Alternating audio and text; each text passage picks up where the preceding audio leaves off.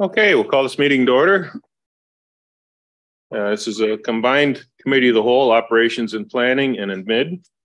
Uh, I would ask you to rise as you are able for the reading of the invocation. As we come together today, we recognize the great responsibilities laid upon us. Our council will always strive to understand the needs of the people we serve and to use power wisely and well. Our purpose is to establish and maintain a city of prosperity and righteousness where freedom prevails and where justice rules. Let us also not forget those who served our community and who are no longer with us so that we can continue to do the work we must in their memory. Please be seated. The roll has been taken. Roll's been taken. Okay, are there any members that have conflicts of declarations of conflicts of interest? Seeing none. Um, item seven point one point six, native species planting policy is already separated as we have delegations for this item. Uh, are there any other items that members of council would like to separate? Councillor Van Tilborg. Seven point one point ten.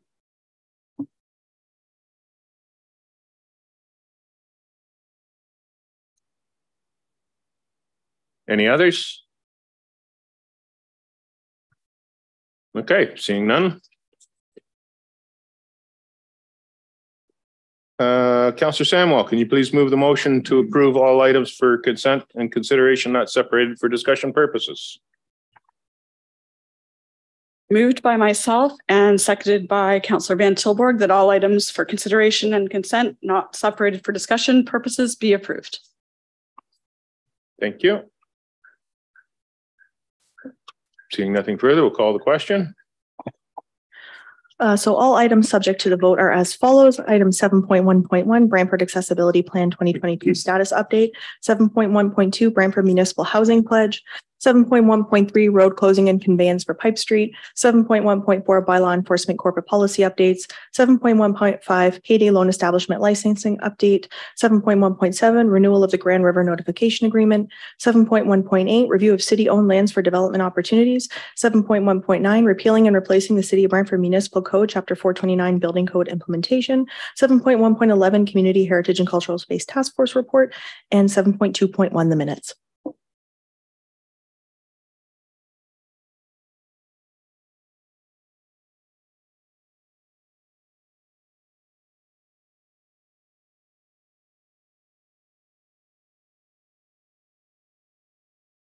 All items not separated carry unanimously on a recorded vote. Those voting in favor, Councillor Sullivan, Councillor McCreary, Councillor Carpenter, Councillor Van Tilborg, Councillor Sicoli, Councillor Caputo, Councillor Martin, and Councillor Samwell. Okay, we have no statutory public hearings on the agenda for this evening, so we'll go right into delegations. I'll now ask Susie Stones to come forward to speak to item seven point one point six, native species planting policy.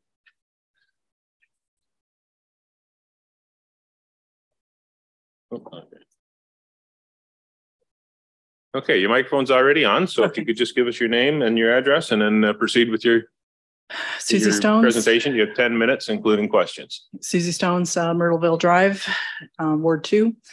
Um, I know last time I, I was quite lengthy, so I'll try to zip along better this time. Um, so why are we wanting the, the native species um, planting policy? It's, it's basically because we really need to help our pollinators. Uh, Ontario is home to 400 species of native bees, of which they do the lion's share of pollination activity. 75% of food crops are 75% of the food crops depend on those pollinators, and more than 40% of pollinator species are facing extinction.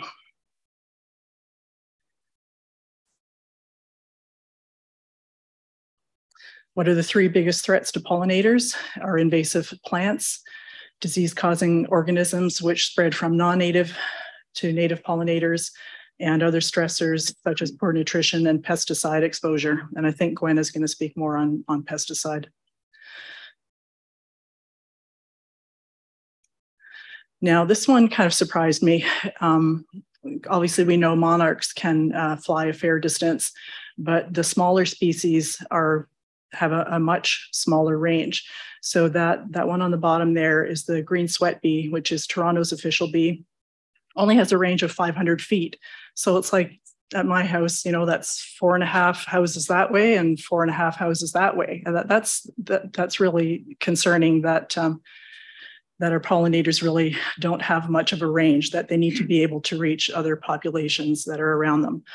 So if anybody needs to uh, to remember anything tonight, it's this thing about habitat fragmentation, where we've we've gotten so much to the point where we're planting things that are not native, that these pollinators um, can't reach other uh, other things of their of their species. So we're running into into problems where the from a genetic standpoint, the, the species aren't robust because they're they're in isolated little pockets.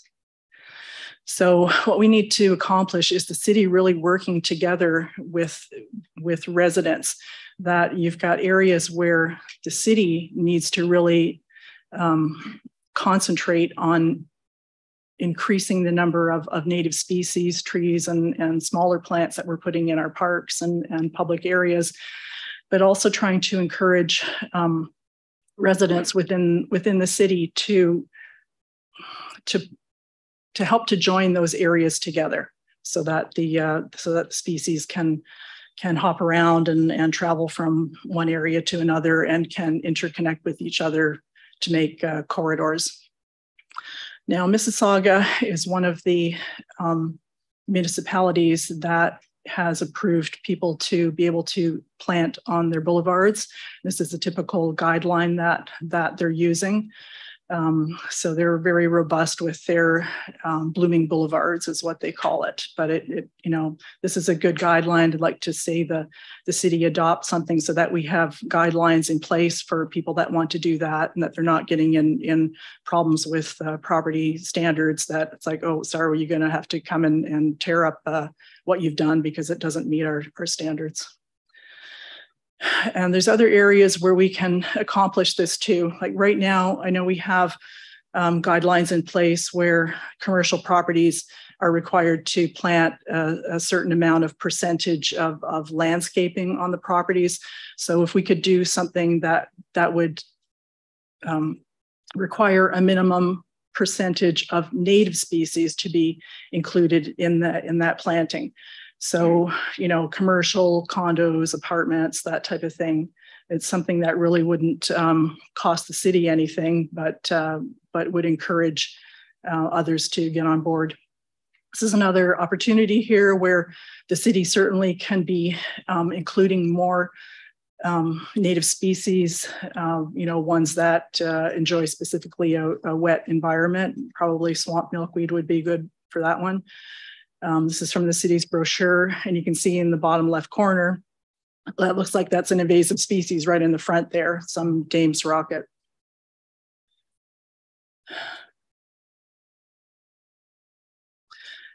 Um, it gives us an opportunity too to try to tackle more than more than one problem just by doing something. So right now, our, our city parks, uh, by and large, look like the one that's in the uh, bottom right corner, which is uh, Ann Good Park.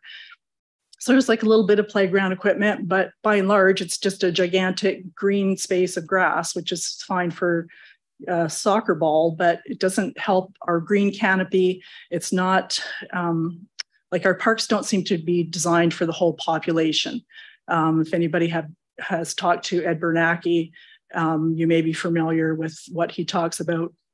But you know, you could knock off more than one problem by including um, mature, well, it wouldn't be mature to begin with, but if we could increase our, our, green canopy within the parks.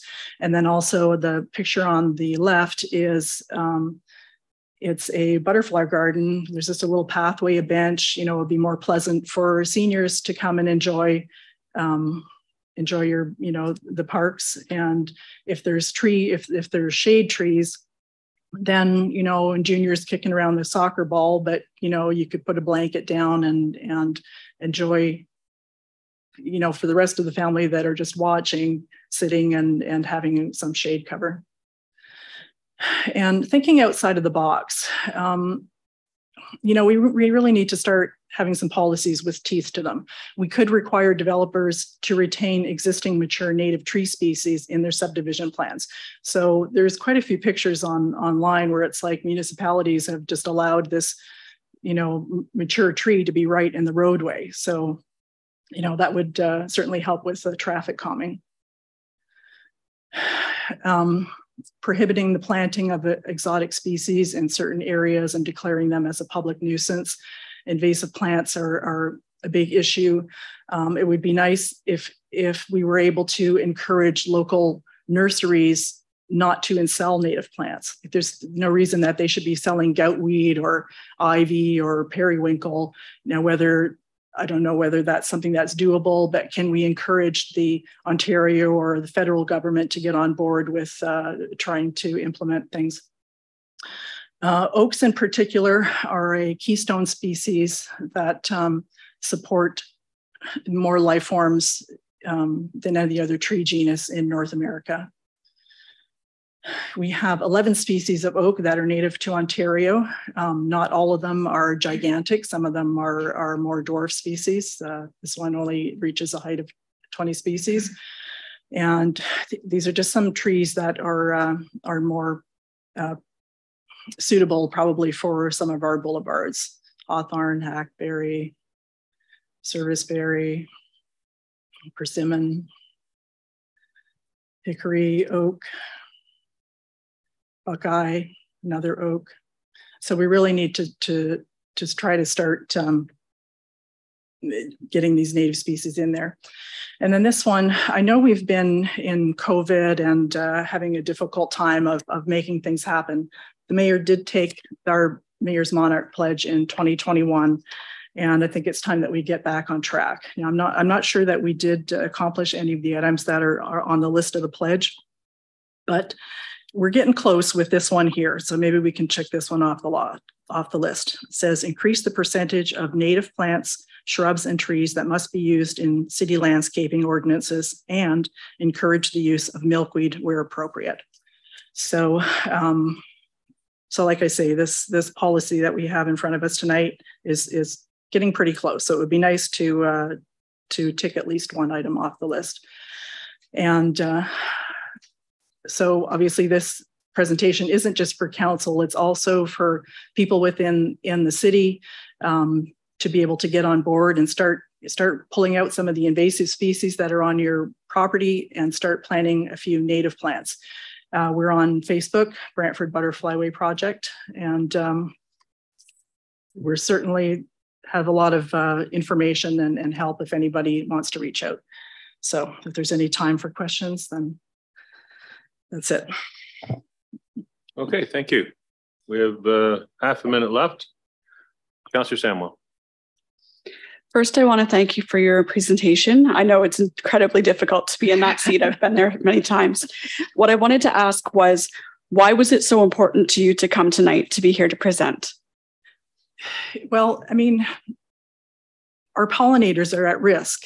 And if they, they're the ones that support our, our food crops. You know, if we want to be able to eat, we have to make sure that we have a robust population of pollinators. So it's really time that we, as a city and as citizens, start to take this seriously and start to make decisions and put better policies in place that really have some teeth that can make a difference right? There's just there's just no good reason why we're planting non-native species when we can be planting native ones and there's more advantages. Like i mean you're not dealing with with um, issues of of water run out like they're more drought tolerant. You're spending less money in in maintenance. Like once you get the plants in and established they're really it's going to be less work for parks department less water going into our our stormwater basins and and the stormwater ponds and stuff. So it's it's it's smart from a lot of aspects. Thank you. That's a lot of important reasons to be here tonight. thank you. Okay, thank you. We'll now ask Gwen Chapman to come up to speak to the same item. Uh, and you as well will have 10 minutes inclusive of questions from from the committee?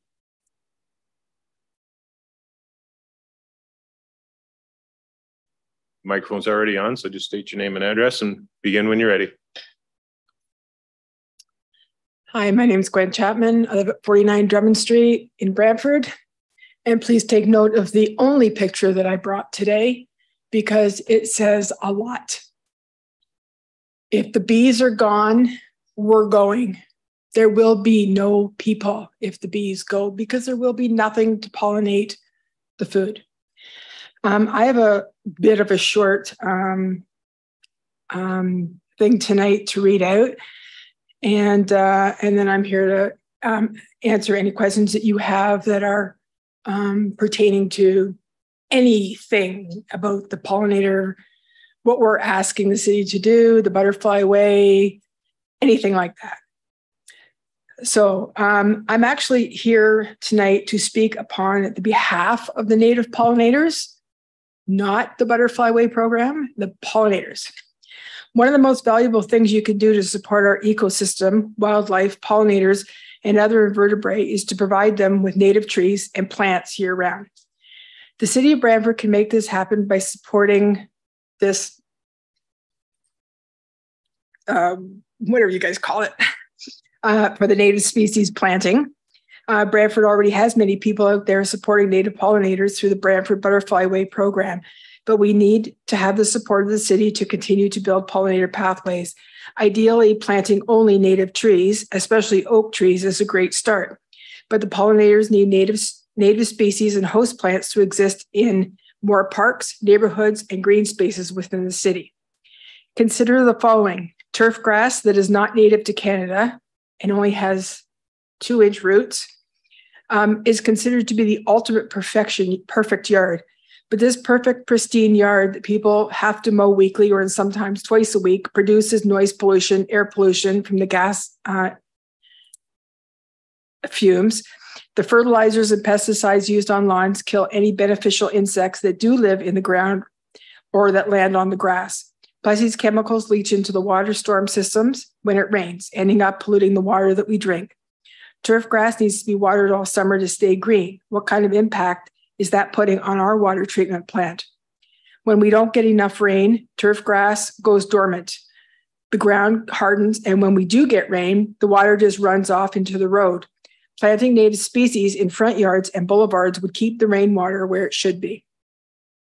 People don't like pests, and those that don't like pests tend to pull out a can of Raid for everything. Raid kills bugs dead just like it says, there isn't a pesticide that kills the non native pests, uh, that just kills the non native pests. It kills them all. Once they're dead, we can't re- reproduce, or the species, we can't reproduce them and the species dies out. For example, the non native invasive spongy moth, AKA the LDD, AKA gypsy moth, is the perfect example of pesticide use killing in what we don't want to do. Our city con- contracts for sprays of several areas of Brantford. Um, this was last year, including Mohawk Park, um, that is full of oak trees and Glenhurst Gardens. The manufacturer of the BTK say it's all natural and only kills spongy moth caterpillars. Well, that's a lie. That poison kills every caterpillar in the Lepidoptera family that eats falling, um, foliage covered in that spray. This includes butterflies like the monarch and many other larval stage butterflies or moths that are eating the plants.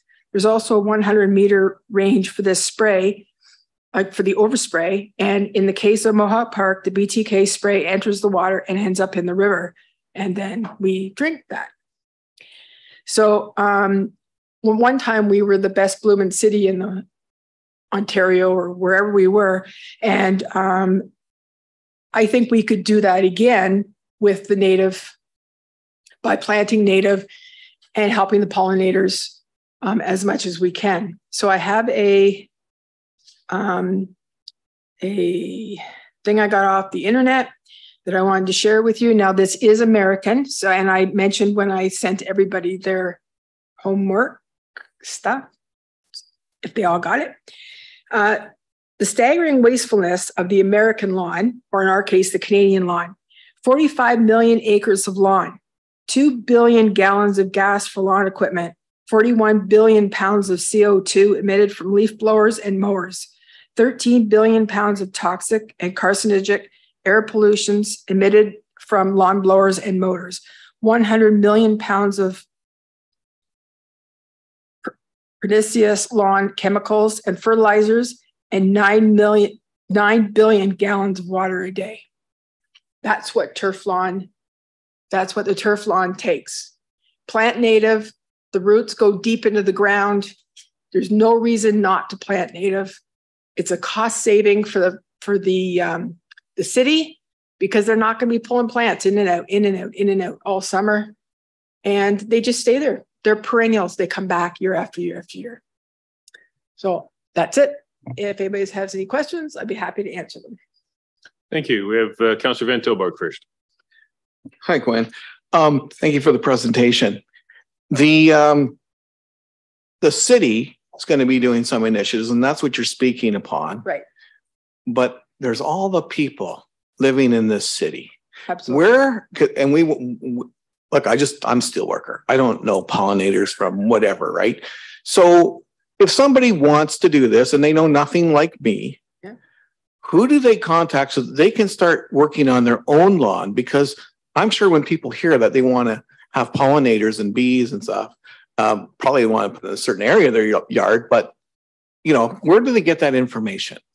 Well, I am one of those people that goes out and does um, talks to different organizations, and they absolutely can go on Facebook to our um, our Facebook group that Susie showed. It's the uh, Brantford Butterfly Way project and surrounding area. It's not hard to find us. Um, we have over a thousand people in the group. We have a huge, big, 200 plus pollinator pathway within our group. Um, and by all means, I'm I'm available if anybody wants, they want help, library wants anything. Like we're going to going to be doing stuff with the library. We want to get involved in the schools. Um, so it's it's out there. Just just look us up on Facebook. Thank you. Seeing no further uh, questions, thank you very much for your presentation. And we'll be dealing with this item next. Okay, we'll now deal with the items that were separated, starting with seven point one point six. Does anybody have any questions or comments on this one?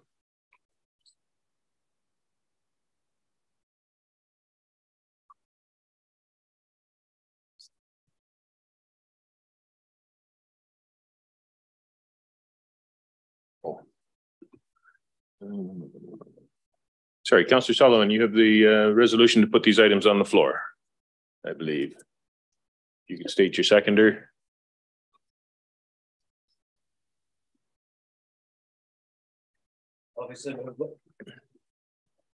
Moved by myself, seconded by my ward mate, Counselor Sicoli, uh, that all items for consideration and consent, 7.1, 7.2, separated for discussion purposes be approved. Thank you. And with that, we'll deal with seven point one point six. Any questions, comments? Councillor Samwell. So I have uh, just wanted to comment that I'm pleased to be supporting this tonight. The community, I've been watching the work of the Butterfly Way and the work on the pollinators. And I just wanted to say that it'll be nice to see the city having an opportunity to be doing our part as well. Thank you.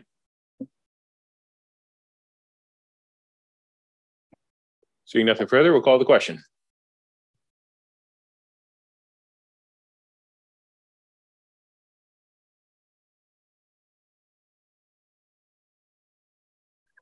Item seven point one point six, native species planning policy uh, carries unanimously on a recorded vote. Those voting in favor, Counselor Sullivan, Counselor McCreary, Counselor Carpenter, Counselor Van Tilborg, Counselor Sicoli, Counselor Caputo, Counselor Martin, and Counselor Samwell.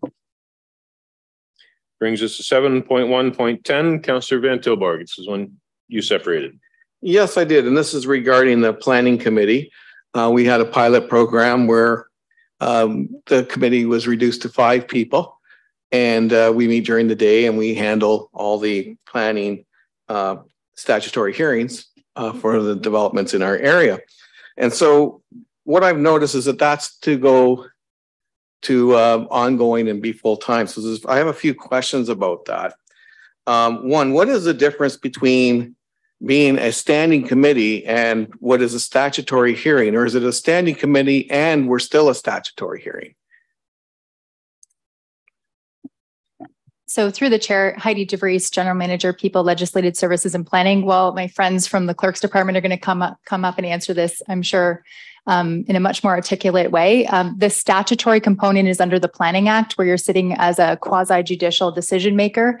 Um, and the standing committee has to do with how you're positioned within our procedural bylaw. But I'm, I'm sure our Clerk's Department can expand upon that. So it's both, though. that. That is correct. All right. Um, the other question I have then is what was quorum prior to, we want to reduce the quorum to three. So what was quorum for those meetings prior to the, the recommended change? Through the chair, Lisa Madden, committee coordinator, uh, quorum was four. previously. Quorum was four. Okay. And did you do any asking of any of the counselors or any other counselors perhaps on their input on how they felt the pilot program's been going so far? So through the chair, um, following meetings, occasionally there were some discussions with counselors if they happened to provide comment, uh, but there was nothing beyond that. Okay, well, I guess this is our opportunity. Um, I, my concerns have been, one, I don't, without the proponents being there, because what happens is the rest of the council sees it at the next meeting. There's a lot of information that they may not be able to ask or get the answers for. And I find that's critical, especially right after the proponent's talked and then the proponent comes back and, and uh, redoes those questions. And that, that's not possible with when the other five councilors show up at the second meeting. The other thing is I'm very, been very used to everyone in council knowing everything that's going on in their ward in that, that level of detail. Because I find that there's a lot of, a lot of years of knowledge in here. And I miss some of that knowledge of my co-counselors when an issue's come forward. And so that's helpful at the planning committee stages. The other thing that I've noticed is that the participation from the citizens is, is not there. Um, people are working during the daytime and they used to come to these meetings. I mean, often some of those planning committees would meetings would be fairly full. And um, I'm not seeing crowds. I'm seeing, you know, those that happen just be able to be off that day, uh, availability. So I know there was some flexibility, and, and you know we've said that we wanted to free up. I do know we have lots of. I mean, look, I can't. I don't have a crystal ball. What's going out there? But right now, what I'm seeing is we're meeting during the days for a planning committee. The one of the one of those meetings was over in like 27 minutes, and then we've been ending every meeting practically since Christmas or even before, and we're done 7 8 o'clock. So there's time that we're not using. And I know before we were running into when we could have a hearing, yeah, we would have a 9, 9:30 meeting. Um, and you, you couldn't do as many. So I'm just saying these are things that I've noticed. And I did not see them in, you know, addressed in that report. And that's what's coming from my side.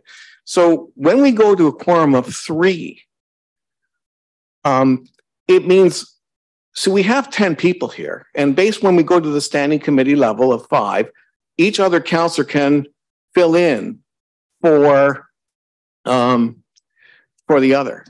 So at three, it means there are there are times, and this will be with my counselor Samwell and myself, and probably other people where neither ward counselor could be at a meeting. There is nobody to replace us and we could you could end up in a meeting whether it's your own stuff or not your own stuff it doesn't matter where we have two counselors out of a total of 10 voting against possibly the mayor or three three uh, on a two to one vote out of an entire council of 10 moving something forward if i had a, a quorum four if something didn't pass it would be interesting to know why and if I've got a three to one vote, I think that would be indicative of what council might see when it comes here. We'll probably go to a six vote at least based on, you know, some of that information. So, so I got a number of concerns about these. My, my thoughts was that um, I haven't seen that increase in volume yet. I haven't seen the need for this yet. I know there are some benefits and cost savings but there's also some loss in that community engagement. So I'm just going to take a break and let if anyone else wishes to uh, speak at this time. Good timing, Counselor. I was just about to cut you off. Counselor Sicoli. Yes, hi, everyone.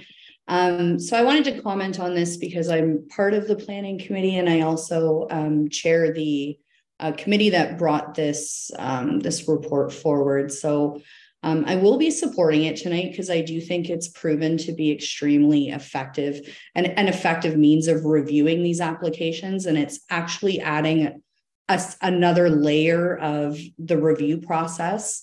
Um, so we're reviewing it quite thoroughly in detail without a time limitation in front of us as we um, anybody who was on council previously knew that we were sometimes sitting there during these statutory meetings for five hours. And you know something is going to fall through the cracks at that point if we didn't make a change. So i think we're getting an, a more thorough review of of these applications. It's going through a second layer of um, council the council review process um, I'd definitely be supporting it. It's going to allow us to make sure that we're growing a little more uh, responsibly and appropriately, and and it's get we're giving it its due diligence. It's really no different than any other committee. I don't sit on finance. I have no idea what's going there. I see it for the first time at council as well. Um, you know, so I, I, I do think I'm I'm going to um, be supporting this tonight, and I hope that I can count on everyone else to be su- uh, supportive of it moving forward as well. Thank you. Uh, seeing nothing further, I'll, I'll make some comments. What, what has to be remembered is whatever is decided at planning still has to be ratified by council. When it comes to council, all eleven members of council get a chance to see it, get a chance to ask questions. And uh, if there is something that's contentious, then it'll come out at that time. I think the planning committee is, is working well, is doing a good job. Uh, I know one of the early ones went most of the day. Um, I was unable to attend in, in Council McCreary's absence in the morning, but I was able to get here in the afternoon. And uh, the meeting had started at nine, and I wasn't able to get here until around one o'clock, and it was still going. So if we had to do that on a council night, we'd have been here till midnight. And anybody who's been on council for any length of time knows that the decisions made after 10 o'clock aren't necessarily the best ones. So if we can avoid that, we can uh, hopefully uh, run the city a little better than uh, if we run into that kind of situation. So Councilor Van Tilborg, did you wish to speak a second time? I believe there's still some first time Oh, is speakers. there? Oh, sorry, Councilor Carpenter, I didn't see your hand. That's, that's okay. Uh, Doing a good job, Mr. Chairman. Uh, actually, uh, you're actually Mr. Acting Mayor, because the mayor's out of the country, so you're actually the acting mayor. Yep. So I'll address you accordingly. Thank you. Uh, just, to- there's a, a number of meetings here scheduled, like May eleventh, June fifteenth. Uh, July is the call of the chair, but there's a monthly meeting process. Uh, we have a lot of items on the agendas coming forward, do we not? Through the chair to planning committee? Yeah. Uh, that is correct. Uh, I'm anticipating, uh, two for February, four for March. Um, I'm not sure coming to April yet. And depending upon how the interest rates go and the dollars go, we may have more. Uh, I'm hearing from developers on a regular basis that they're, they're applying. So, um, I know it's difficult, uh, to, uh, to take this out of the evening session where the public could have more say. I know that's difficult unless we find a way to add another day in the, the council agenda. We probably could put a Wednesday on there or Monday and it could have been done that way, but we have a, we, we've got an awful lot of items on our agenda development. Brantford is the place to be. Everybody wants to be here. We want to make sure that development is is done right and uh, proper, and and that's why the one representative from each ward. Um, I I know what Councilman Tilborg's saying. I know uh, Councilor Hunt and I will share information on a pretty regular basis about how, what we're doing, and not always possible. Both board councilors can't make those meetings, and I know it's difficult. In the report, you have the planning committee stipend, item six point one, you talk about eleven thousand dollars as being the maximum. And that's if everyone took the stipend. Through the chair, that's So correct. as, as members of the committee change from time to time to time, how has that changed? How does the stipend change? Is that a resolution to council? So through the chair, the calculation was based on when it was initially passed. And the counselors chose to opt in or out of accepting that uh, stipend. If a counselor were to choose to opt in or out, my expectation would be that would have to be a resolution passed through this council again. Yeah. And at that point, we would then reconfigure that calculation. Okay, thank- and in the cost savings, you talk about the cost saving savings, and I think we've actually seen it, uh, the number of staff hours to do planning proposals coming forward. I mean, staff are are working a lot of hours to do a lot of planning, get planning in place. And now we have a new increased timeline in which we must meet those guidelines to actually get planning before us. Uh, the provincial standards have changed dramatically, so it requires a pretty um, faster process, which I think we're all happy for. We, we we struck a committee just to make sure before the province, well before the province came up with the idea to move planning along in a way that was more productive. And I think I thank staff for doing that. Staff done a tra- tremendous job of making that happen. So uh, this we are we're we, we can actually quantify the savings in staff time and overtime by not having staff here late into the evenings and sometimes waiting for their proposal that they're representing to come up maybe last sometimes. Should that not be a fair statement? Uh, through acting mayor to the councillor. That's absolutely correct. So what you see in the report is just a basic calculation looking at the average. So we've done four applications on average per meeting, taking into consideration the staff that are here to speak to those applications and support staff as well that are required to attend. We could be seeing upwards of 14 staff members in, in attendance for those meetings. That means that staff are not accruing those overtime hours when um, those meetings are held during regular business hours. Um, and so just a basic calculation that we've included in the report can be in the range of a $38,500 saving for having those meetings in the day. Yeah, okay, thank you. And uh, just uh, having said that, uh, I, I don't mind putting the work in. It's something I'm actually interested in. I, I like planning. I like the planning department. I like the people. I like the work. I like the whole idea of building a better Brantford. It's been my slogan since uh, for 30 years now. And uh, we are doing a pretty good job here. And we could do a better job if we put more focus on it. And I think that's what this does. And to my colleagues, I know it, it's difficult for, for you and not always being able to attend. I'm happy to listen to any ideas that you have to make this better, but I'm going to support this going forward at this point. Uh, I was one of the ones that, that bowed out, by the way, of the statement. Thank you. Councillor McCreary. Uh, Chair, thank you very much. Um, and I, I want to reiterate some of what uh, Councillor Carpenter said. I, I too chose not to take the additional pay. I felt a bit uncomfortable giving myself a raise. Um, but hearing what others have said as well, people who are interested in the process in the public will find the time to come and see us or they'll communicate with us. In some way, they'll make known their intent and, and um, they'll fear not, we'll hear from folks that want to be heard from. Uh, Brantford's not shy in that respect. Um, I look around tonight, we have four planners here just on this item. If we were having a hearing tonight, we'd be here all night and we'd have more than four planners. Um, so in terms of sharing of workload, Councillor Martin and I, we he sits on finance, I sit on social services. I know he's going to look after the interest of our constituents on that committee, and likewise, he feels the same about me. So you know, if if if if there's an issue that one of us wants raised, we'll raise it. Um, it's it's a matter of learning to work together with you know, in some cases, a, a new ward mate. We've been around a couple of years um, and and know each other fairly well. So um, it's a matter of trust and it's a matter of sharing the workload. Um, so I, am very supportive of this. Um, I made clear my thoughts to staff about improvements that I could see with this, and certainly any member of the committee could well have done that. Um, I'm not shy, and I, I look around the room and I don't see a whole lot of shy people on this committee or this council. Um, so you know, as, as always, you know, if, if you've got input to offer, staff are always willing to to to listen and to incorporate. Um, so this is this is absolutely the right thing to do. Um, it saves time from our folks rather than sitting here all night long uh, until God knows what time. And as Councillor Martin says, um, decisions made after 10 p.m.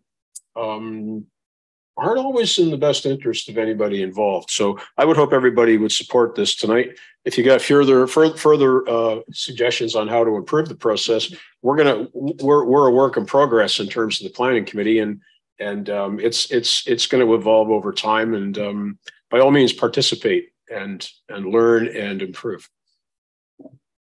Thank you, Councillor Sullivan. Thank you, Chair. Um, like my uh, co- counselor colleagues here said before me, I too agreed to opt out of the stipend. However, I see the importance of going to an all-day planning committee. Uh, I too will be supporting this, especially with the growth that's going to be looming over Brantford over the next fifteen to twenty years. We need to make sure that we have all the available time we need to get things done. Thank you.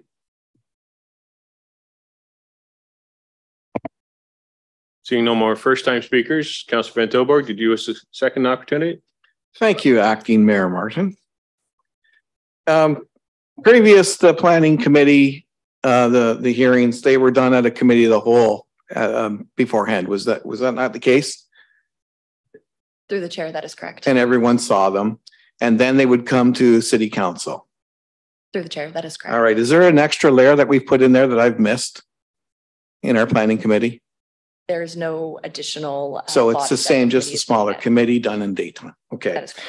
And it was mentioned that we have lots of time, more time to do this, uh, which I have seen in the planning committee. There's been more time, but isn't there not a recommendation to reduce the amount of time that people speak? Because I noticed in the charts, it showed the other communities and what they had for timelines and ours has basically said unlimited. And now if I, if, if I read it right, does it not say that we want to put a limit on the number of the length of time someone can speak?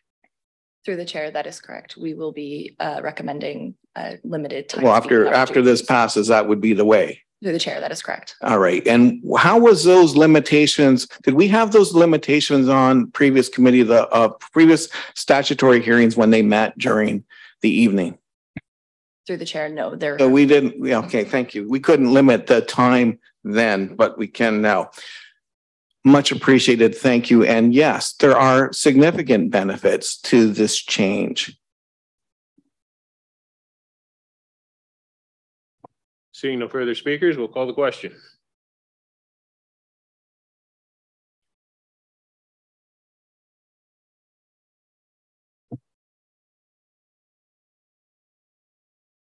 Ah. Uh, item seven point one point ten, Building Construction Process Review Task Force carries on a recorded vote of six to two. Those voting in favor, Counselor Sullivan, Counselor Sicoli, Counselor Caputo, Counselor Martin, Counselor McCreary, and Counselor Carpenter. Those opposed, Counselor Van Tilborg and Counselor Samwell. Okay, that finishes off the separated items. We're now into resolutions. Councillor Caputo, could you move your resolution and state your seconder, please? Thank you, Mr. Chair. Um, I'm moving this and second by, uh, Rose Sicoli. Uh, whereas Brantford, whereas Brantford Transit encourages removal of barriers for seniors to have safe, reliable transit services to access many community services and activities. And whereas the city promotes and encourages the healthy aging plan and encourages our seniors to use public transportation to participate in community activities. And whereas the city of Brantford currently sponsors free transit for all youth twelve years of age and younger to introduce public transit as long as commitment to utilizing public transit as part of their everyday life. And whereas the city of Brantford understands seniors may have limited transportation options and encouraging public transit as a viable alternative alternative to automobile use. And whereas every June, the city of Brantford joins cities across Ontario to celebrate Seniors Month with additional programming and recreational activities for older adults 50 plus. Now, therefore, be it resolved that staff be directed to complete a feasibility studies for seniors ride free program and present the findings to the May 2023 Committee of the Whole Operations Meeting and that the feasibility study include the rollout strategy, revenue, ridership impacts on both conventional and specialized transit, costs associated with implementation, and analysis of capacity during on-off periods, and that in recognition of Seniors Month in June, staff be directed to provide free transit ridership between nine AM and three PM Sunday through Saturday on Brantford Transit Conventional Services, or fifty plus for the month of June.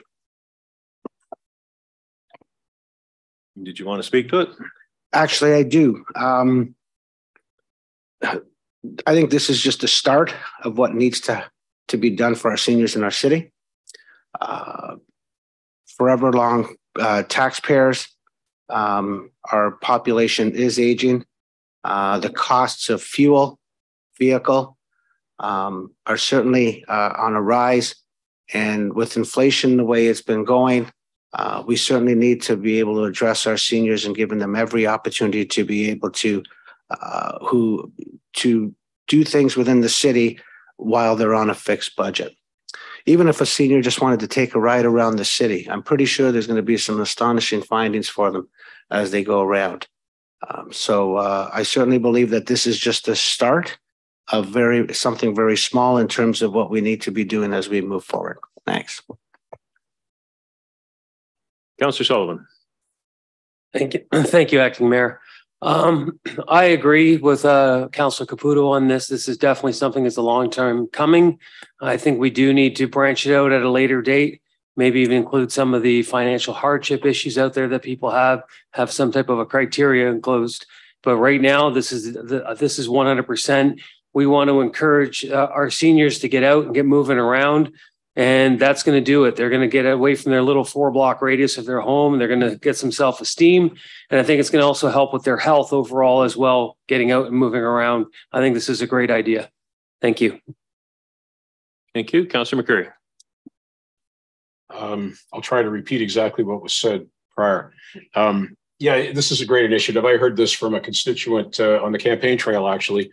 Uh, it's done elsewhere, and I, I congratulate uh, the councillor for bringing this forward today um, it does it does marry um, two two uh, two streams of thought. Number one, uh, for folks who may not have a whole lot of expendable cash, it um, it'll get them out and about. Maybe introduce them to some things going on in Brantford they wouldn't otherwise have access to.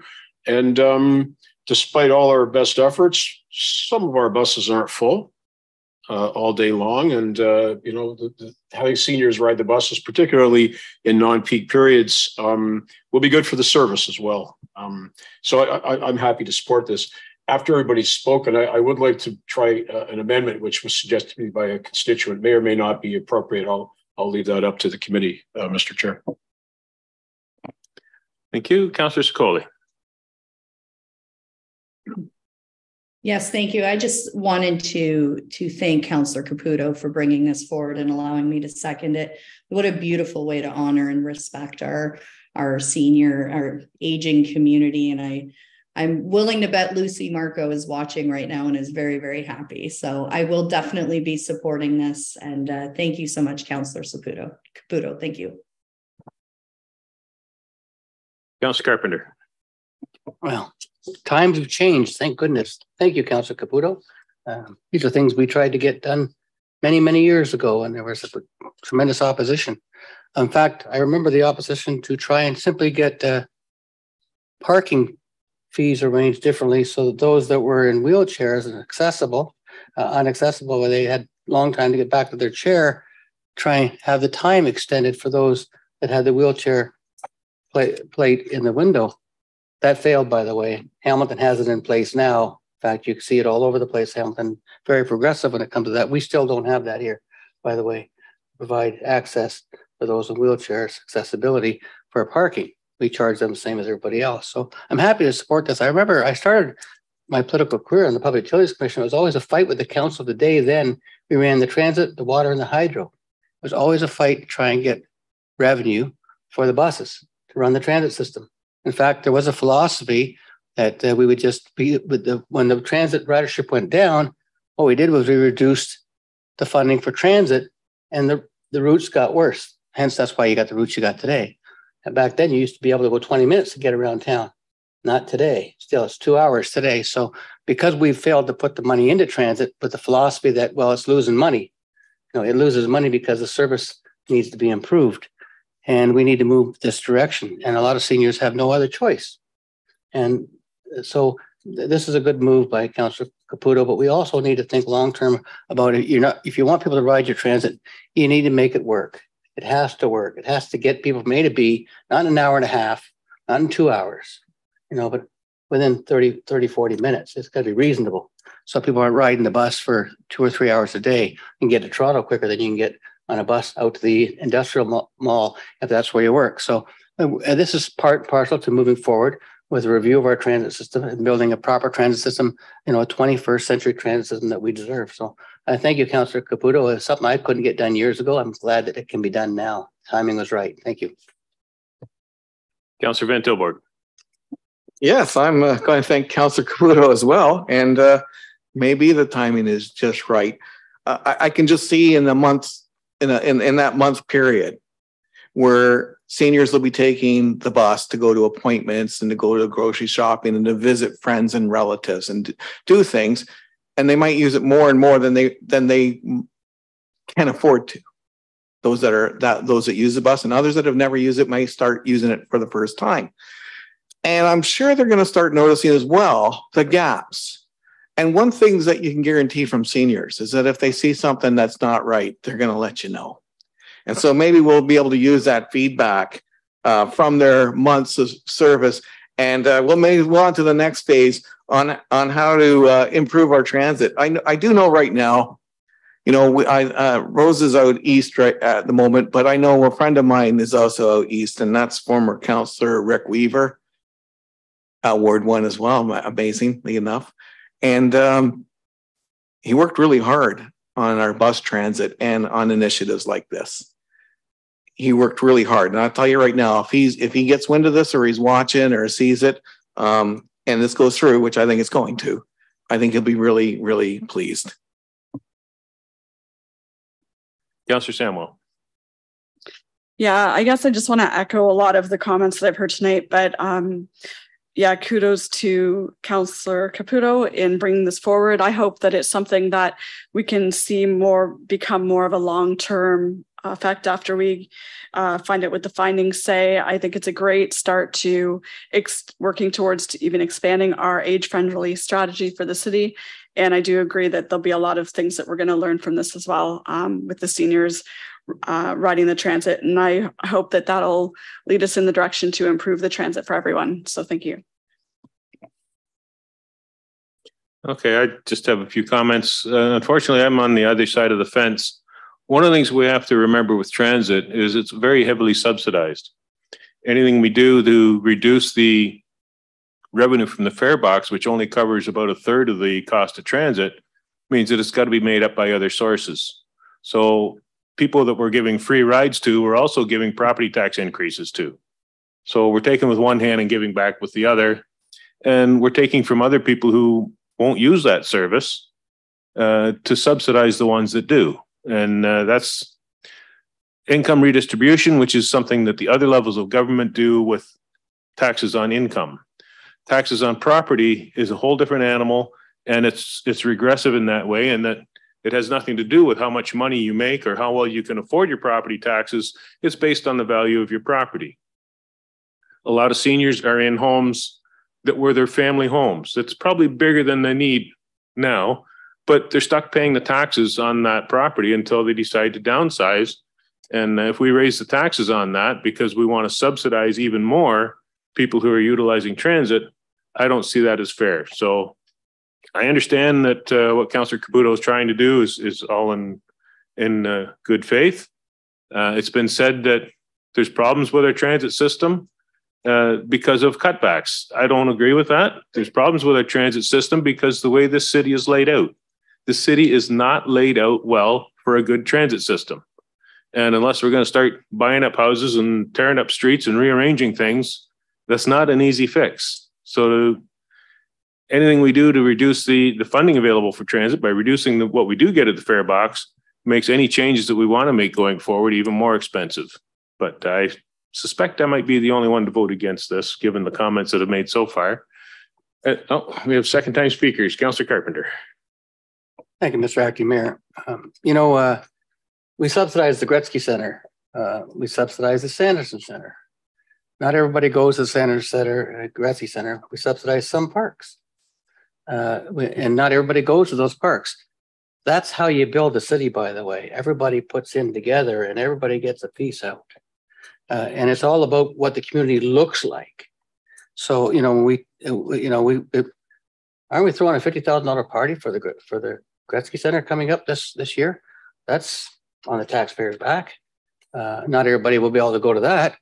Um, so, well, some of it's on the taxpayers' back, anyways, at least half of it.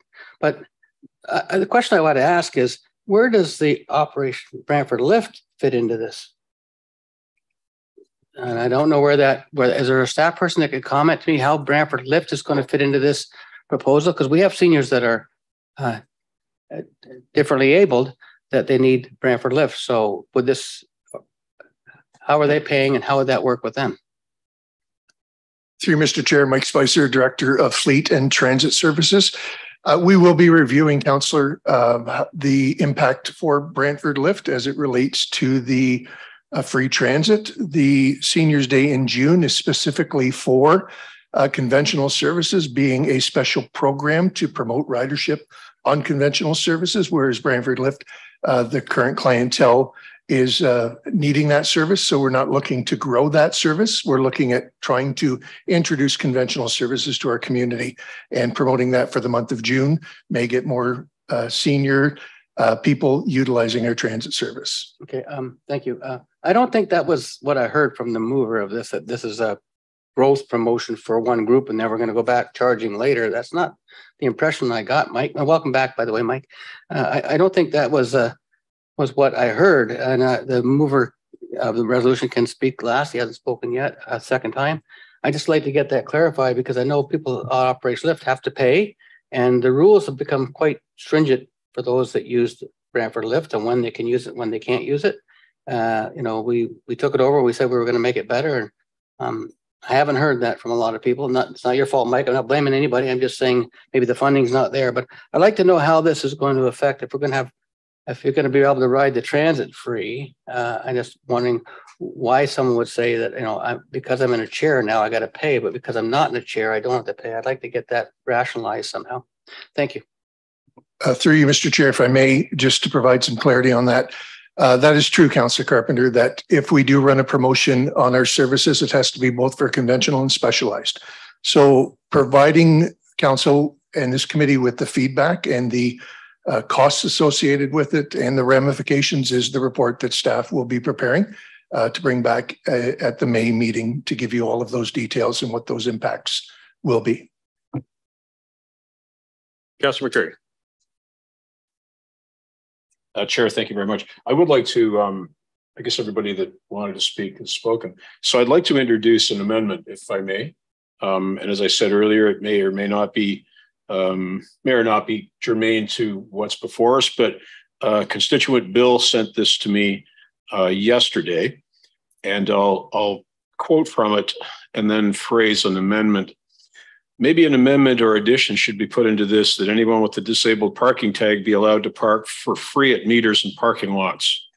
City of Hamilton does this for their meters, just a suggestion. So um, what I, what I would propose, Mr. Chair, is that the feasibility study include um, having a look at um, uh, accessible parking tag vehicles parking free in city lots. Did you want to second that amendment, Councilor Carpenter? Okay, it's it's not really related to the resolution, but since this is asking for a report to come back, um, Councilor Caputo? Um, I I would have seconded that as well. As I mentioned when I, I brought this up earlier, this is just the start. This wasn't something that was going that like to me, free buses was the start of it, right? Certainly getting uh, Mr. Spicer to do his report and see what the feasibility would be for the lift was the second part. Um, parking is the third part. I think we need to look at everything when it comes to our seniors going forward. Uh, you know, looking at parking within in plazas and malls and everything as to where it's going to be. The aging report doesn't lie. 10 years, we make decisions today that have to become uh, the vision 10, 15 years from now. So let's start with this. We will move forward and see where we're going to go with everything else. But I certainly don't have any issues with the parking being added to this. I think it's just an added value to everyone involved. So thank you. Okay, given the comments so far, uh, is the committee willing to accept the amendment as friendly and include uh, parking as part of the information to come back with this report? Seeing no objections. Okay, I had Councillor Van Tilborg next on the list to speak to the. Maybe oh. it's not objection. I just want to uh, remind council that in the capital budget, uh, there is a parking uh, study going to be happening in, this, in the city as well. So not sure if, uh, if GM DeVries, if that can be included in this, in the- the second, the amendment, but I don't want to, uh, just wanted to make sure that's also clear too. We're Thank you, CEO Hutchings, through, through you, um, acting mayor. Um, that study won't be completed in, in the timing based on this, um, this current resolution that's before you, which I believe requires a report back by, by May. Um, but if, if this, uh, council wishes to include that as a pilot and then we look to the parking study to undertake a deeper analysis, we can absolutely do that. Okay. So with that, Councillor Van Tilborg, the floor is yours. Thank you, Acting Mayor Martin. You know, I, uh, I, I agree with Councillor Martin when he states that it's a regressive tax when you're talking about property tax. And seniors that own homes are paying a regressive property tax, and that's wrong, and I should, and I can't change that. But what I do know is that the money that they're spending can be spent on things like landscaping, couple roads for five hundred thousand dollars that gonna benefit a few people on the street. Or there's a chance that not all seniors, some will probably be just as unhappy that, oh gosh, they're spending money on that. But there will be seniors that will benefit from this initiative. We deal with that fact every day. I honestly do wish I could change the regressive nature of the taxation system for municipalities because it really puts us in the squeeze and it's unfair. So it's a very good point. And, um, you know, there are times when I think that argument even has even more merit. But in this particular case, at least at this time, the seniors that are in the on fixed incomes in their homes paying taxes, they're going to see some benefit that they can take advantage of if they wish to. Councillor Sullivan. Thank you, Chair.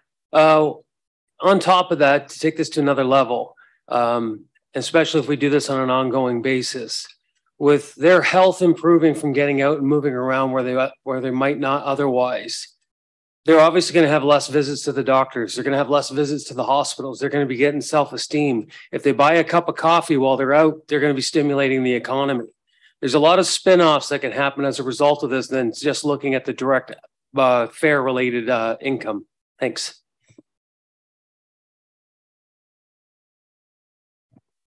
Seeing no further speakers, we'll call the question.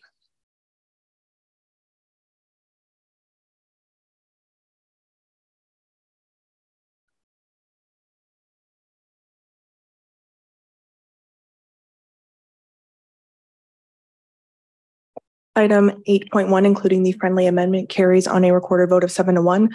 Those voting in favor, Councillor Sullivan, Councillor McCreary, Councillor Carpenter, Councillor Van Tilborg, Councillor Sicoli, Councillor Caputo, and Councillor Samwell. Those opposed, Councillor Martin. Thank you. Brings us to eight point two, Power Line Road speeding. Councillor Carpenter, this one's yours. Thank you, Acting Mayor Martin, and I'll be seeking a seconder as my ward mate's not here. I see Councillor Sullivan has raised his hand, so Councillor Sullivan is my seconder. Whereas the residents of Brentwood Park area are reporting ongoing speeding concerns on Powerline Road, and whereas residents have raised concerns about the safety of pedestrians and the children in the area, and whereas the Pate family business is located on the north side of Powerline Road and holds several very well-attended community activities throughout the season, whereas numerous requests have been received by ward councils to implement traffic calming measures on Powerline Road to improve the safety of Brentwood Park residents crossing the street to visit Brentwood Farm activities and businesses, and whereas ward councils have been very concerned with the speed of traffic that travels through this neighborhood from Powerline Road uh, from Wayne Gretzky to the eastern city limits, where several collisions have occurred on this location. And most recently, a young boy was struck and seriously injured by a vehicle while attempting to cross Powerline Road.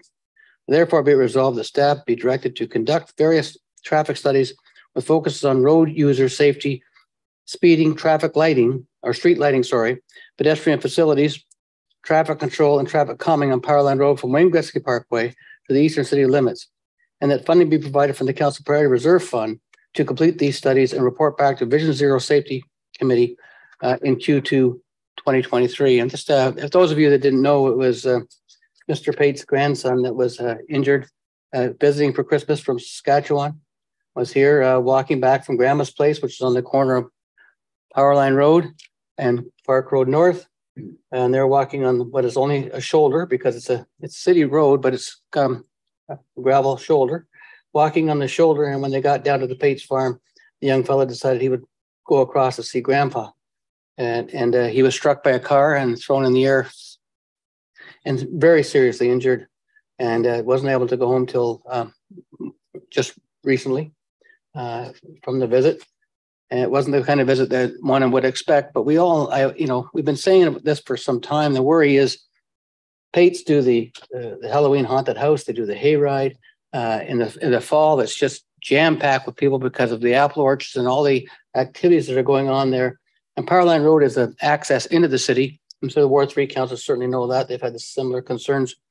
Uh, and, and we just need something at that location to access people safely across that road. And just simply a flashing light, which we did put there, isn't enough uh, to make it safe there. So I'm just asking that all, all the council support this going forward, where staff will do the report about what can be done to make this road safe, and we'll finally have a safe road. Thank you. Thank you for your support. Councilor McCreary. Uh, Chair, thank you. I'm happy to support this tonight. We often kid around about solving long-standing problems, but um, um, it's it's a shame that so often somebody has to be hurt before we act. We had the same circumstance in our ward where a couple of children were struck by a car, and that resulted in some additional traffic control. So I'm pleased to see this uh, coming forward tonight. Um, I got to say, though, that some of this is all about um, the dedication of policing resources to look after what this community says are its pressing needs. Um, and, you know, tonight we refused to send the police budget back to, to discuss the addition of seven administrative staff.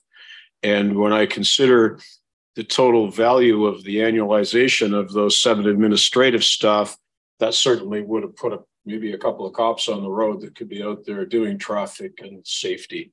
Um, so uh, Councillor Carpenter has my support tonight.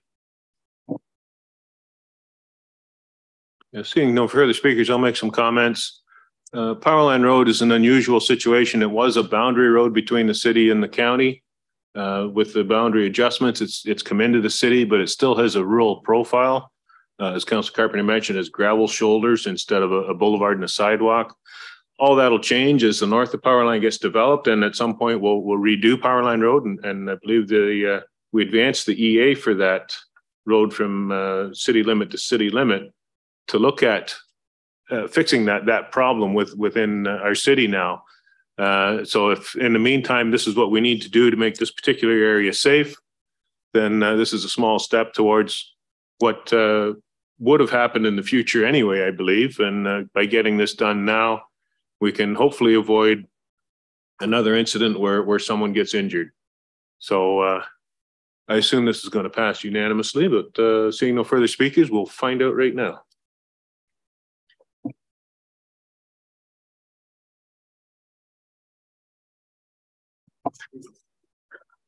Item eight point two carries unanimously on a recorded vote. Those voting in favor, Councillor Sullivan, Councillor McCreary, Councillor Carpenter, Councillor Van Tilborg, Councillor Sicoli, Councillor Caputo, Councillor Martin, and Councillor Samwell. Okay, that brings us to eight point three, Brantford Landfill Gas Project.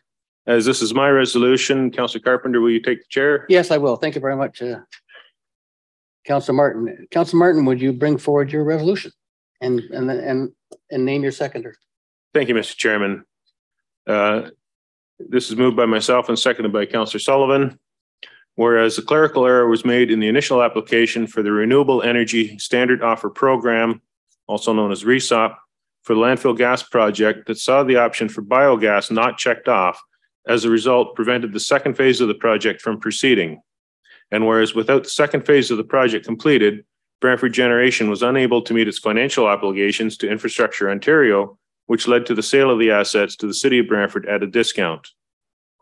And whereas because of the discount, the deal included a clause that any profit made from the sale of electricity during the balance of the RESOP agreement will be split 50 50 with the province.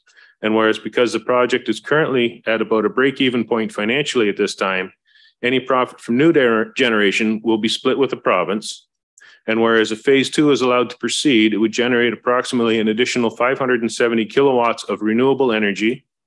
And whereas we're currently receiving rates of 11.75 cents per kilowatt off peak and 15.27 kilowatts per hour on peak. And whereas all of this generation would be profit, the net cost to the province would be 5.875 cents per kilowatt off peak and 7.363 uh, cents per kilowatt on peak for green electricity. Now, therefore, be it resolved that the City of Brantford makes a formal request to the Ministry of Energy to authorize the independent electricity system operator to allow the use of biogas within the current RESOP program for Brantford's landfill gas project so that both the city and province would benefit and profit from this agreement. And uh, speaking to it, this one thing that's not in the resolution that is also true is if we can get this change to the RESOP agreement, it'll open the door for us building digesters for the green bin operation.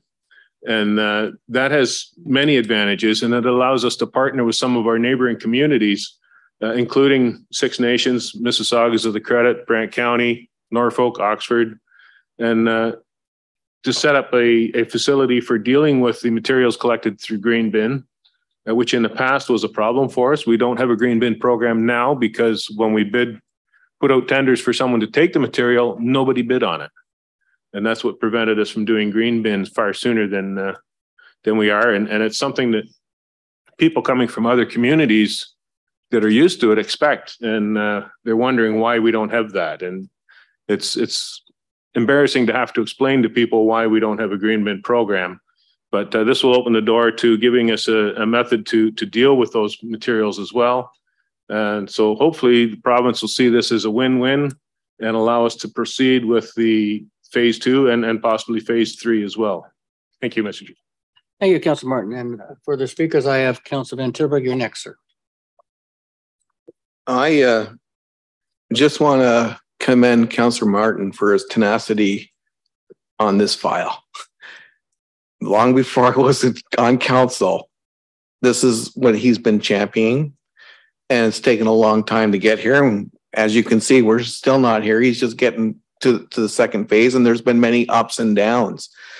Um, but I think now when we look at the timing and what you might also not know, because uh, I remember when I found out, I was rather surprised that how strong an advocate Councillor Martin was for green bins before green bins were a thing.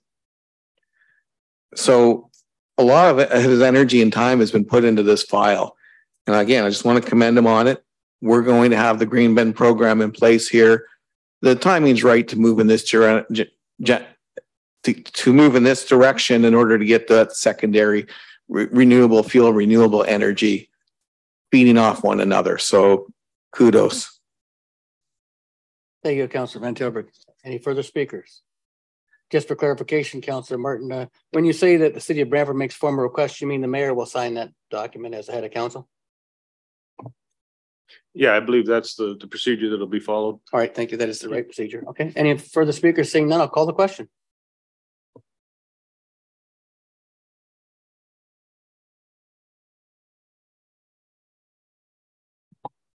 Item eight point three carries unanimously on a recorded vote. Those voting in favor, Councillor Sullivan, Councillor McCreary, Councillor Carpenter, Councillor Van Tilborg, Councillor Sicoli, Councillor Caputo, Councillor Martin, and Councillor Samwell. And with that, I pass the chair back to you, Councillor Martin. Thank you, Councillor Carpenter. Brings us to eight point four, Brantford Expositor printed publications. Councillor Sicoli, you have the floor. Yes, thank you. So moved by myself and seconded by Councillor Caputo, who brought forward a very complimentary um, resolution earlier this evening. Um, so Brantford Expositor printed publications, whereas the City of Brantford has continually committed to an age-friendly planning and to work with individuals and families to meet the changing needs of an aging population. And whereas access to information is a key concern for older adults across Canada and locally, our community believes that all community residents, including older persons, deserve to fully and meaningfully participate in and contribute to the social fabric of our community. And whereas a goal of the City of Brantford's age friendly strategy is to increase digital inclusion of older adults through skilled training and access to technology, access to digital information remains a hurdle for some older adults, and maintaining current access points to community information is crucial to maintaining social participation. And whereas the goal of the city's City of Brantford's age-friendly strategy is to improve access to municipal and community information. And whereas older adults in the City of Brantford rely on receiving their information through printed format. Therefore, it is resolved that A, the City of Brantford respectfully call upon the Brantford Expositor, which is a primary printed source for community information for many older adults, to rescind its decision to reduce the number of print editions each, each week from five to three, and that the clerk be directed to forward a copy of this resolution to the Honorable Larry Brock, Member of Parliament, Brantford Brant, and to the Honorable Will Bouma, Member of Provincial Parliament. And if I may speak to this, Mr. Chair. Um, as many of you know, on January 4th, our local newspaper, the Brantford Expositor, announced that they were reducing the number of printed publications from five to three. And the Expositor has been a community partner with the city of Brantford in providing this valuable information to the residents of Brantford. And although I very much understand our move into the digital era, um, the internet really does remain a hurdle for some of our more most vulnerable residents here in town, um, including the, our aging population. And I know for myself, it was quickly evident to me how much um, the senior population or senior residents rely on the, the printed newspaper for information in Ward 1. And I'm sure that's same across the board for all wards. So um, to the expositor, I'm sure you're watching tonight. Um, I thank you very much for your many years of service, and I would respectfully implore you to uh, consider expanding uh, the print services back to five days a week for our for our senior and our aging population to enjoy. Thank you. Thank you, Councillor Samwell.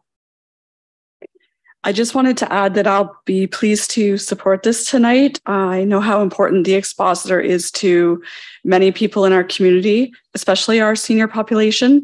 And I think that we need to be working towards, I know that we, you know, um, digital is the direction that a lot of things are going, but we want to be careful to not create barriers for folks that are still preferring and better use uh, hard copies of things. And I think that this resolution to the expositor is a really important piece of that. Thank you. Thank you. Councillor Van Tilborg. Oh, I'll be supporting this resolution as well. Um, the problem, unfortunately, is, is larger than just the distribution. Seniors do rely on a local newspaper for local news. And even when it was more issues, that local content had diminished significantly a lot of local news not reported. And that is the unfortunate nature of corporate and mainstream media today. And that that's a problem, a challenge for them. I don't know how you get around it, but their focus has not been from their model to keep that local content going, uh, particularly in the print.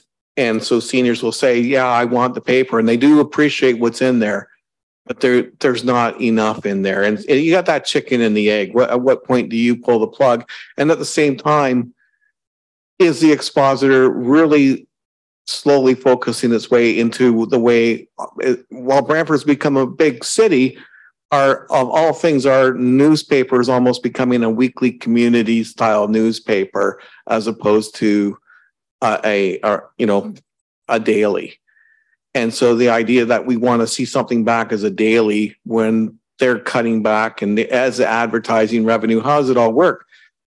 And I don't believe that short of possibly the current liberal government in the federal in the federal sphere has taken an interest in in the, the decline of media and i think they take a beating for it and um, this might bring the aspect to other members of parliament and MPPs that there is a community out there that wants to see it. But again, you know, this is the private business model. This is kind of the way news has always been. It's driven by advertising revenue, um, but definitely noble. Happy to support it. And yes, I know those reporters are watching or will get wind of this. And uh, I would love to see more local content and letters to the editor and the Brantford Expositor that are like from Brantford.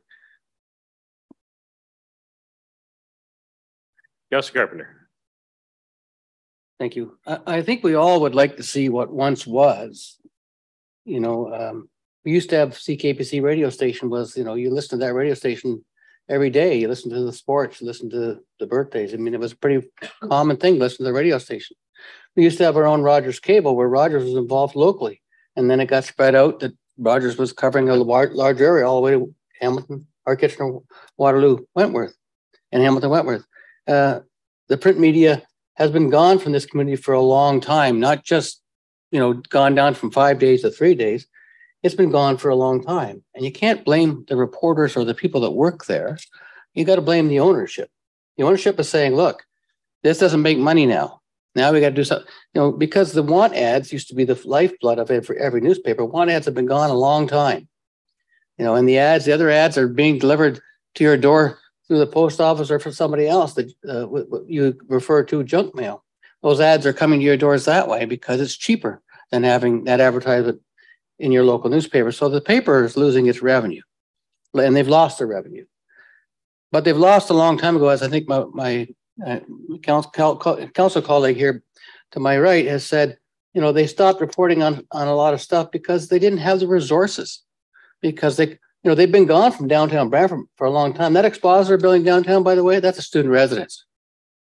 The, the expositor building that used to be up there on Henry Street, they're not there anymore. That's gone. They're not in this community at all. Now, some of those reporters live here and they're working hard to try and make a living on what's left of that Brantford Expositor.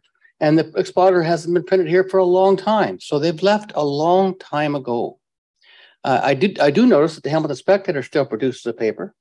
And they even have a section that, that has Ancaster in it and Dundas in it and Flamborough in it. Maybe they can add a section that's got Brantford in it. Maybe that's a possibility. I don't know. But the times have changed. What worries me the most, Mr. Chairman, about this is the media is, is that fourth pillar of democracy. Without the media playing a role in what goes on in a community and reports factually, not what somebody gives them or not what a someone from our one of our departments writes for them. And, and, and I understand why they do that because they're short staffed and they're not they're not paid for the hours that, of the work that we required to get all the information out to the public. So they take what's what's fed to them. And, and I think that the concern is the public doesn't get to know what's really going on.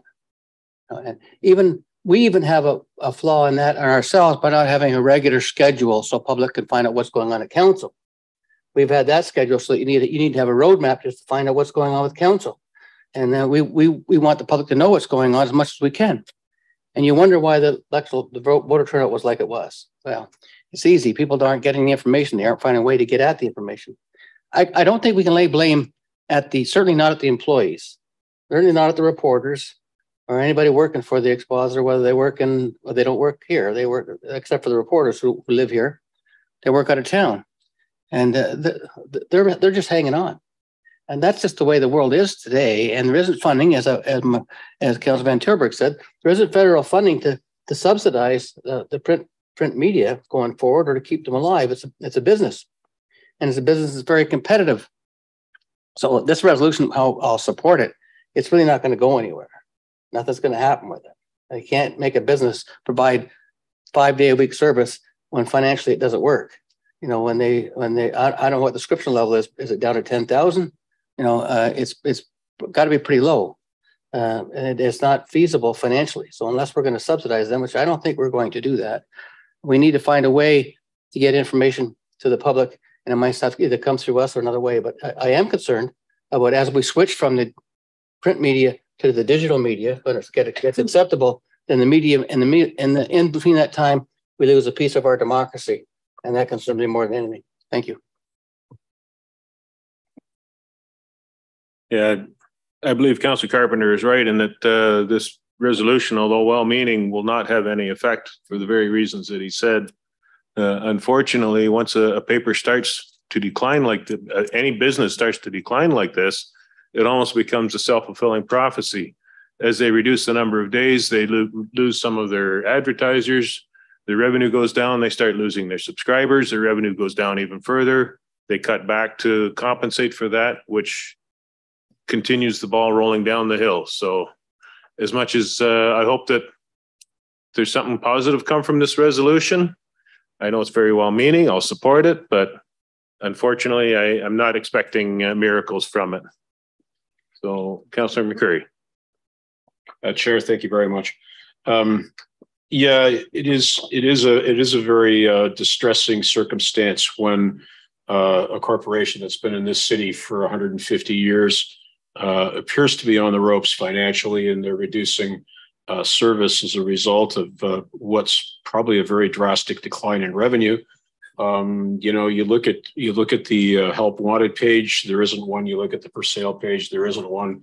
Kijiji and um, Facebook and digital platforms have have cabbaged pretty much a lot of the revenue that newspapers used to get from um, from from the contributions of business primarily. I I'm going to say what I said about the Brantford Bulldogs. Um, I, I agree, and, and, no offense to the mover and seconder, but this is this is pretty much toothless, and um, I'm I'm not sure that we really should be telling a business how to run their business. We should probably be running our own business. But I would say this, um, you know, there's 11 of us around this table. I, I, don't know how many folks here subscribe to the expositor, but uh, like I said about Bulldogs, if you know if you want to make sure that this is a success, the way to do it is to support financially. And perhaps if you don't subscribe to the expositor, maybe tomorrow morning you could do that. Um, and perhaps you know the headline in the community, and maybe the expositor reporters who are pretty darn good, despite um, despite that being a pretty skinny chicken over over there. Uh, perhaps that can be the way they write this story is that this council supports the expositor. We're sad that they're declining and that we encourage everybody to, to pony up and uh, send them a few dollars, buy the newspaper, subscribe to it. In the old days, folks in Brantford used to say they took the expositor. Um, and I, have I've been a subscriber since I came back here in 1990, and my family subscribed to this to the, to the paper for as long as, as I can remember. So um, let's let's you know let's put our money where our mouths are. Subscribe if you don't, and if you're out there watching this and you're going to read about this in the paper, do the same, and um, you know support support this newspaper like you're supporting the Bulldogs. Councillor Sicoli. Thank you. I'll, I'll probably be the one to wrap this up, but I had the some of the same reservations when um, we were putting this together. I wasn't sure if I should be necessarily directing a business on how to conduct their business.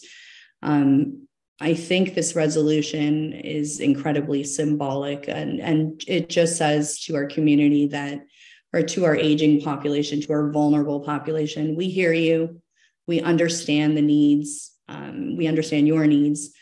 Um, and to the expositor, we're saying, you know, hey, we value you and the community needs you and and we can do better together. And this council values you and just acknowledging that that we're at this this point of change you know? So um, it's it's symbolic and I, I, hope i do have the support of it. And to anyone who is watching um, as my uh, colleague said councilor McCreary you know time to time to start subscribing time to start um, ponying up and and and uh, helping the expositor out before we we lose this crucial part of our community. Thank you. Councilor Caputo. Thank you, Chair. Um, so I agree with everyone and their comments, and uh, I do um, give you full kudos, Rose, on on putting this forward. Uh, and to paraphrase uh, Councilor McCreary, the Bulldogs are coming to town. And uh, like most junior A hockey teams, usually have a beat reporter that has to follow them city to city. Uh, there'll be write ups on them on a regular basis. Whether that stays only on its web page is still yet to be de- uh, determined. Uh, but as we move forward with uh, with the hockey team and with putting something like this forward, so people actually have the opportunity to, to buy the newspaper, um, who knows? Maybe it just does have some teeth. So uh, like everyone, I'll be su- supporting this, but um, just look at the glass half full, guys.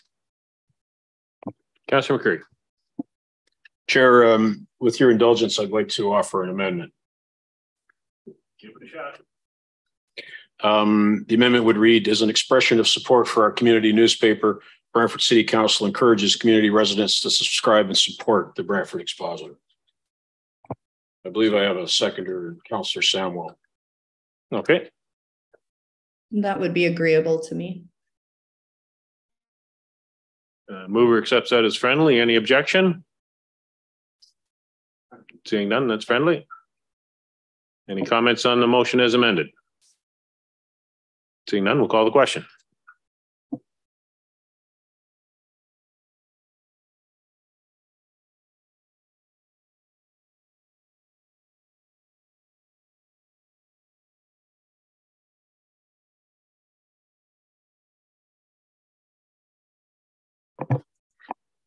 Item eight point four, uh, including the friendly amendment, has carried unanimously on a recorded vote. Those voting in favors, Counselor Sullivan, Counselor McCreary, Counselor Carpenter, Counselor Van Tilborg, Counselor Sicoli, Counselor Caputo, Counselor Martin, and Counselor Samwell.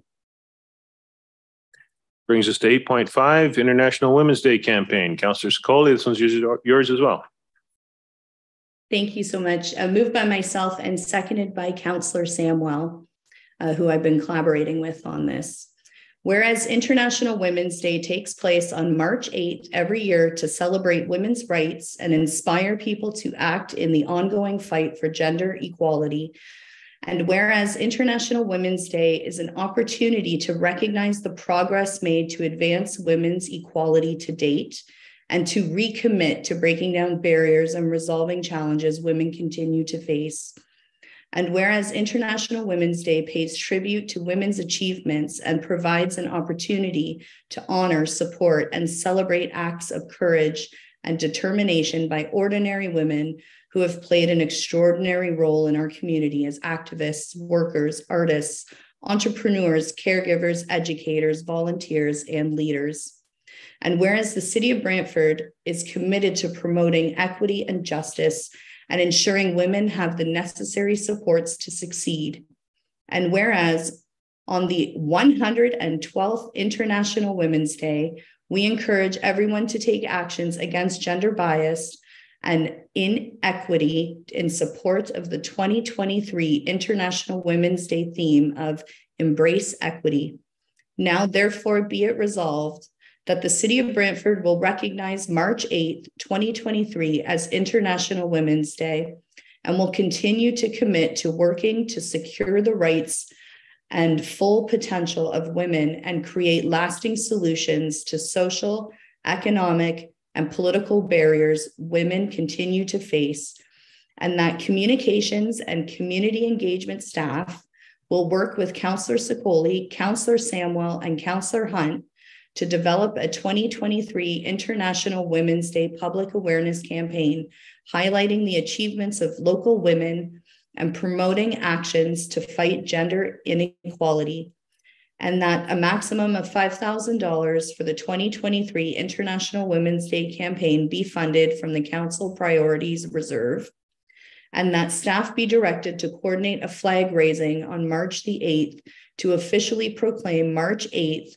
as International Women's Day in the city of Brantford in appreciation of the many achievements of the women of Brantford and those across Canada and globally. And naturally, I have some remarks, Mr. Chair, if I may.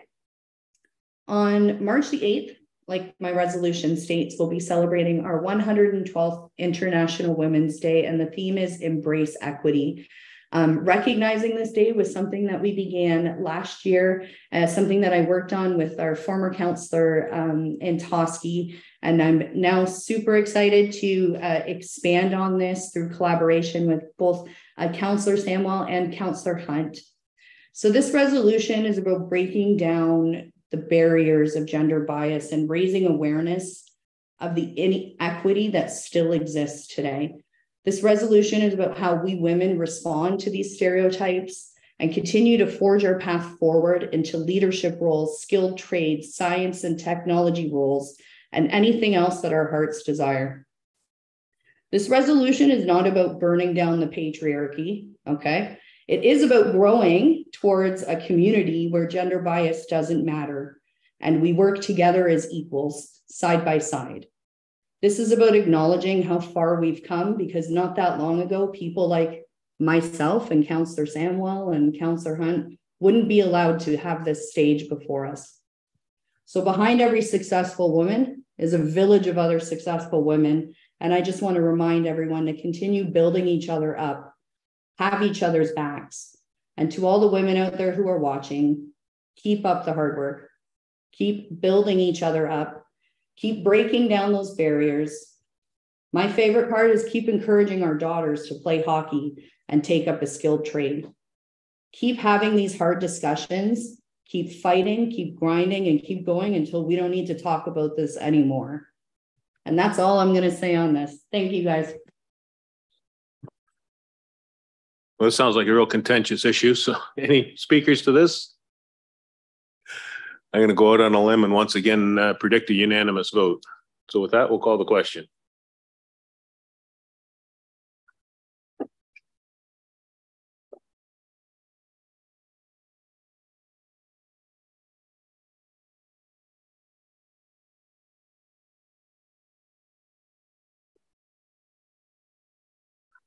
Item eight point five carries unanimously on a recorded vote. Those voting in favor, Councillor Sullivan, Councillor McCreary, Councillor Carpenter, Councillor Van Tilborg, Councillor Sicoli, Councillor Caputo, Councillor Martin, and Councillor Samwell. That finishes resolutions, brings us to notice of motion. Councillor Van Tilborg, if you could read the title of your notice of motion, please. Brantford Accessibility Committee quorum. And with that, we are adjourned.